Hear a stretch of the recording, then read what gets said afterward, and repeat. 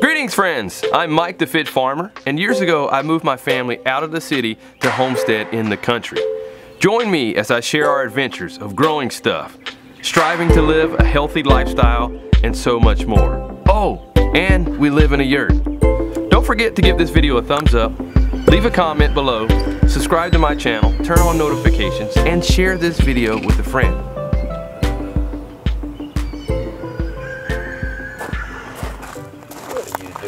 My box? What are you doing on my box? Come on now. Get off the box so I can move it. Gonna get off there. Come on. Come on. And now we have three cats on the farmstead. And actually this cat right here is one that you'll just be petting it, petting it, just liking it, liking it. And all of a sudden he just attacks you. Yeah, you do that from time to time.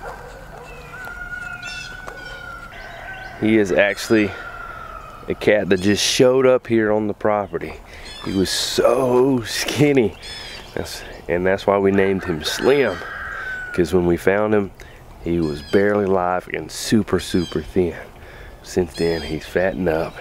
And he just loves being around here, roaming around the farmstead. Come on. I don't blame you. Come on down.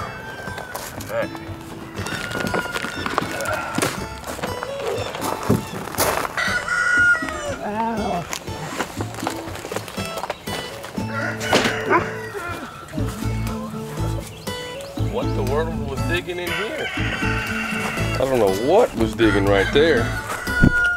Don't need that because that's where we're getting ready to put our tomatoes. Are you on there again? You like this box or something? What are you doing, man? Get off my box. Get off my box. Come on, get off my boxes. What are you doing, man?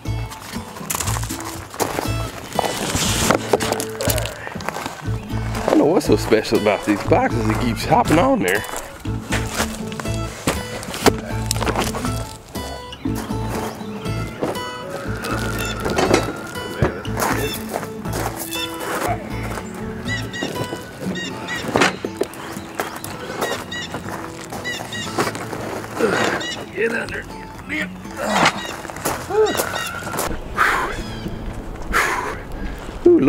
Little burn,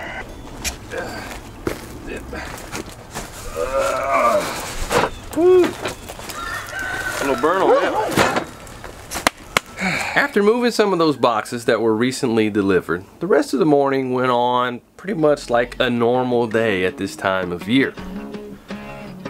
The boys and I did our morning chores. Josiah filled up buckets with feed for our animals. Micah gathered up the duck eggs because they lay in the morning, while I tended to my babies. And then we went around filling up all of the animals' feed for the day. And the ladies made us breakfast. And we ate it, of course. And after breakfast, the boys and I went outside to work on a few more things. But as the day went on, it began to get more and more unique. A little later that morning, I got a call from the post office saying that my chicks were there. But the only thing was, I wasn't expecting any chicks. What could it be? Chicks for me? For somebody else? Mistaken? What, what, what could it be?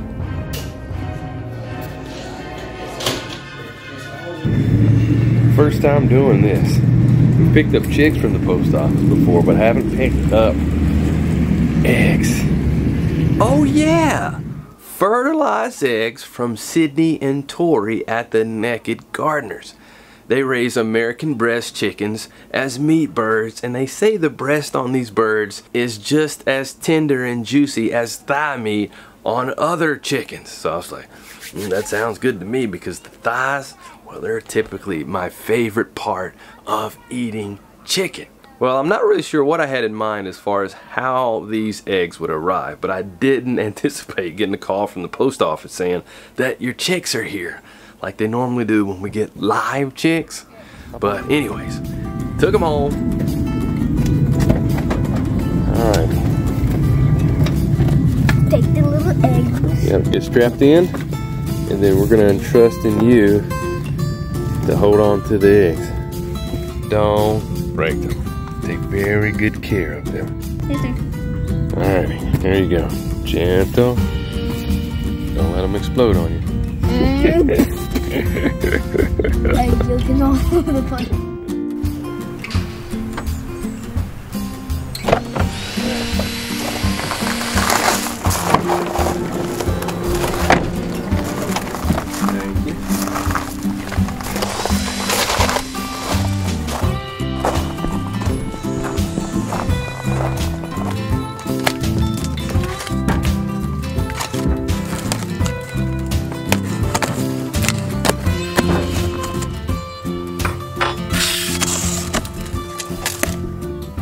Done this before, so not sure exactly what to expect in here. Instructions here. Alrighty, so these are definitely really handy instructions. Let's see here. There's there. So it says here to allow the eggs to rest for 12 to 24 hours with the pointy side down, which they came in. So I'm gonna rest here as it says in room temperature. See, hopefully drop these. We'll just take them out. Follow them with it. Okay, so we'll just set those there. Okay. And the rest of our eggs here. And I'm pulling out. Alrighty, come on. Don't lose any. Okay. We would have here. That's also really handy. And to add to the uniqueness of today, today is also the day of the eclipse. And it's also the last day of the Hebrew sacred calendar year. So this eclipse lines up with the new moon, which marks the beginning of the first month of the Hebrew sacred calendar year. And when I learned that the new year really should be at this time of year and not in the dead of winter when like nothing is happening, it makes so much more sense for the new year to begin in spring during the time that plants are coming alive and renewing and animals are being born and coming out of hibernation and all that other stuff. It just makes so much more sense to me. So it's like, yes, excited about the eclipse and excited about the new year. But before the eclipse, I had another surprise.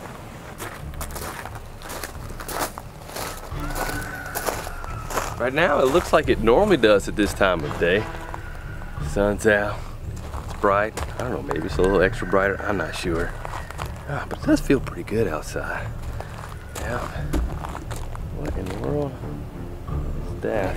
We were airing out our pantry over here that also has some plants growing and it looks like the lights are off over here. Let's see here. Wonder if looks like the power's off. Now the meter is definitely not doing anything right now.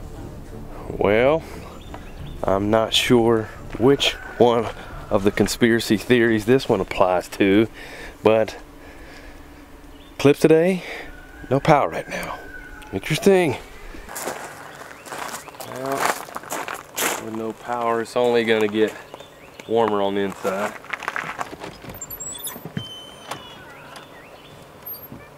Now, this would be a good time to go ahead and use some backup power.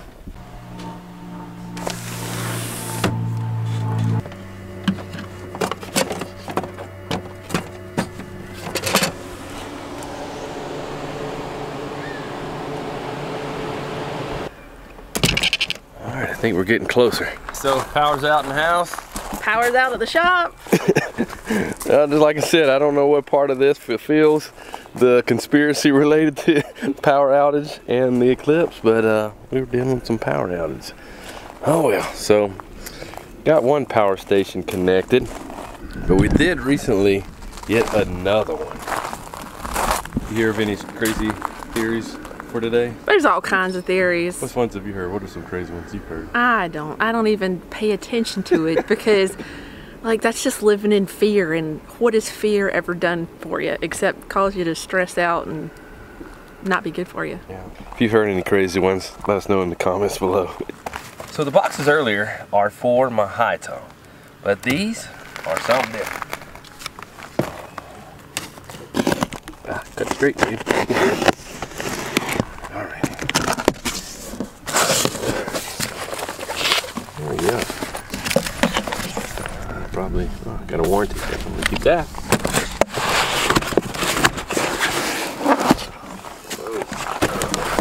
Just have it. Work out this one.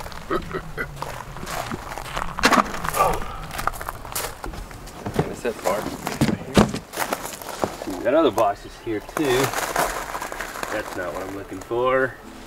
Let's see. That's not what I'm looking for either. I think this is another one that goes with it. I don't have a choice.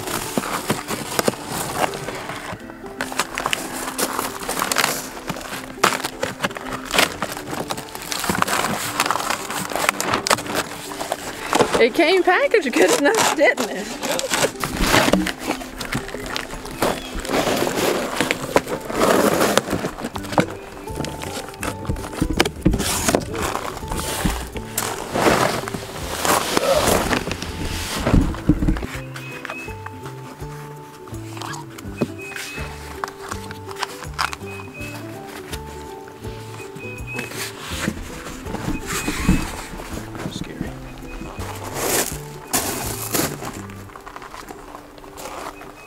Bet the instructions are here. I usually a guy's first two when he's putting something together.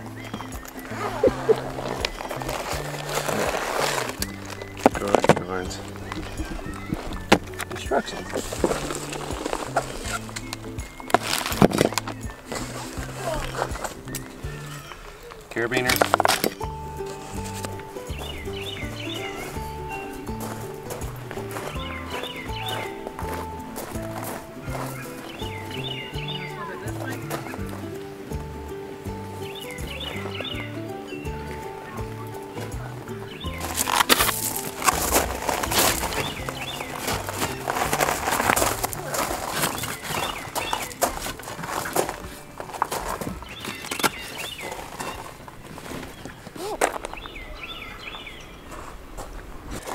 Not gonna look directly up in the sun because you're not supposed to when this happening.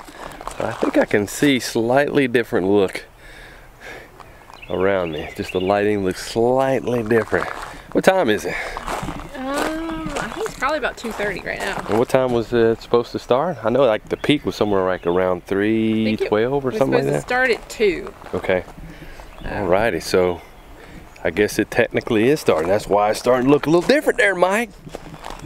So I got the plug connected and that was really easy. They just snap into place like that. Okay. So if you'll bring the power station over here and set it in the shade,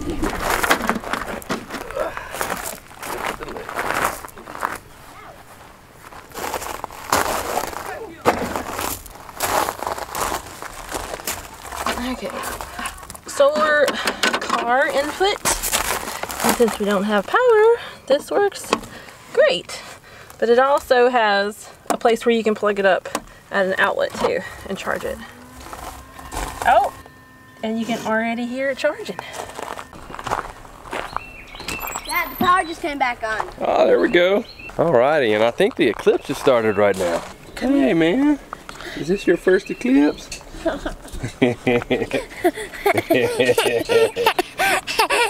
That's like a sinister laugh.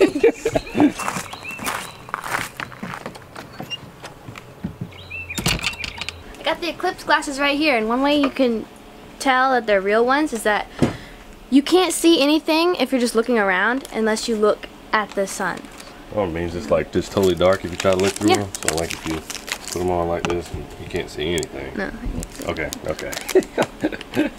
so those are the real McCoy there, right? Yes.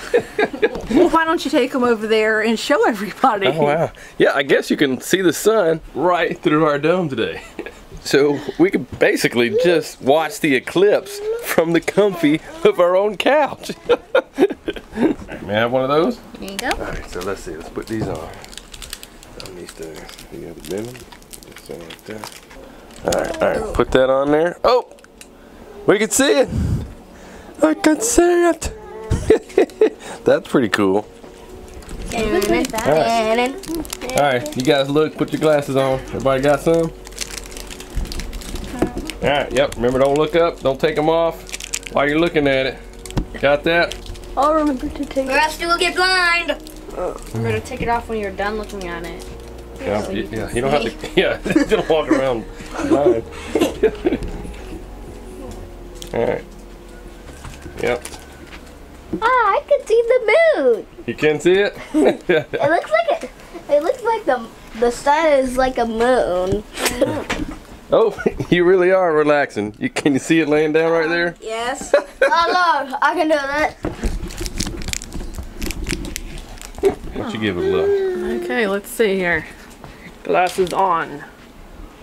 Sun acquired. Oh, that's pretty cool. That's like a third of the way right now. Pretty neat.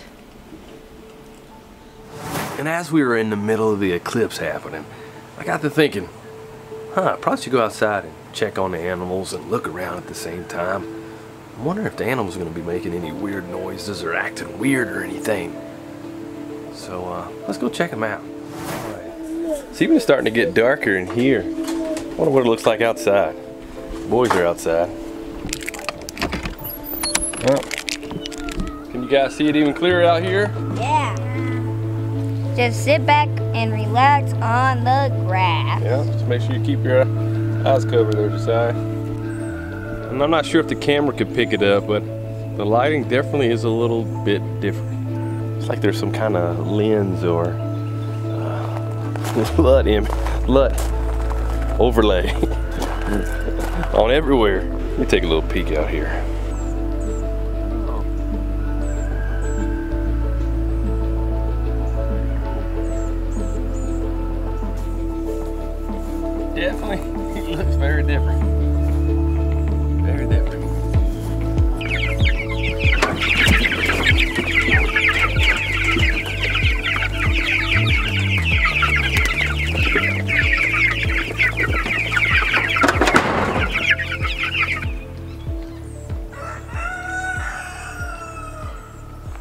Sure there's a lot of people all over the place watching this eclipse right now, but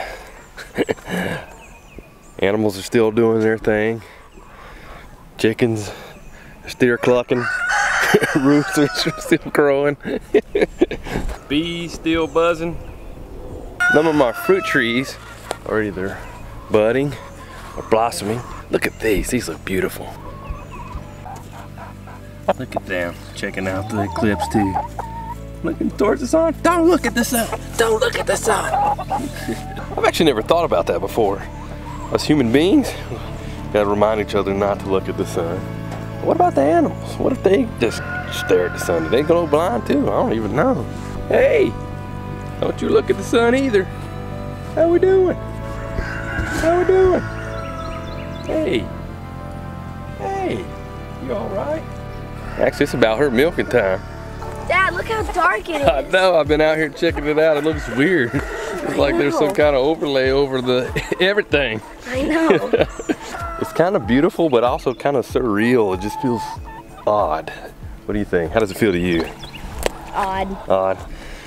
Where are you guys? I know by the time you watch this video, the eclipse will already be done and over with. But where did you guys watch the eclipse from? I'd love to know. Let me know in the comment section below. Also, let me know how dark did it get at your place. We're almost at the peak. I think we got a few more minutes, right, Josiah? But about halfway. About halfway.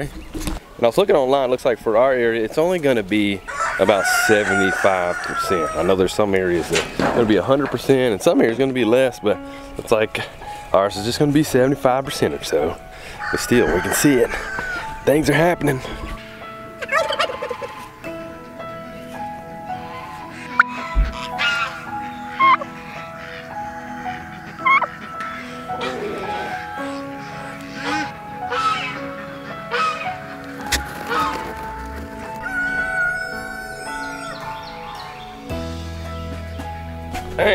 Darker in here. Yeah. Ah, looks like it's gotten cooler in here too. Darker and cooler. So it's about halfway in. Uh, yeah, I think it's a little over halfway. Yep. Maybe two thirds. And not only is it cooler inside, it's definitely colder outside too. It's like everywhere you go now, it's like being in the shade. Well, we are in the shade. We're in the shade of the moon. I guess you're right.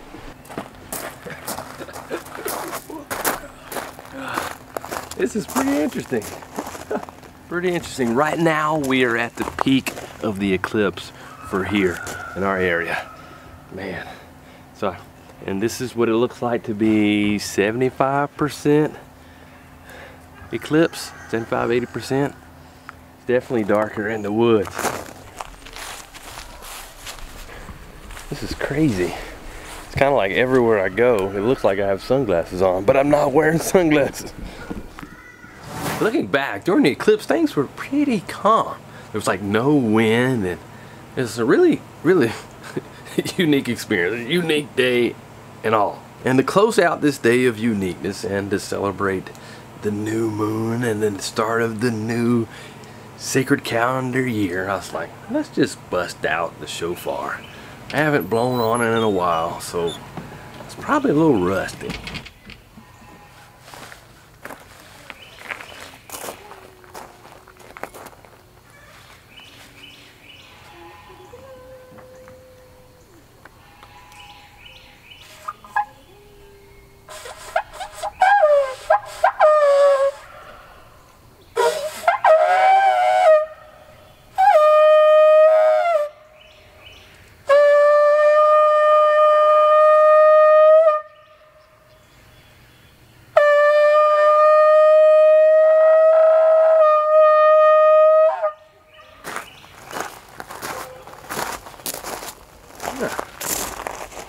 Not the best.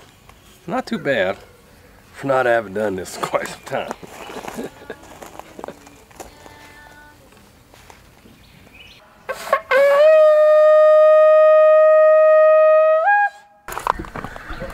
You're like, what was that? What did you think? There's something for it. Huh? I don't know it. Is that me? And then to completely finish it all up, family came together for some time of prayer, hymn singing, and family reading time. So this day turned out to be far from a typical day. How did your day go during the eclipse? Let me know in the comments below. See you next time.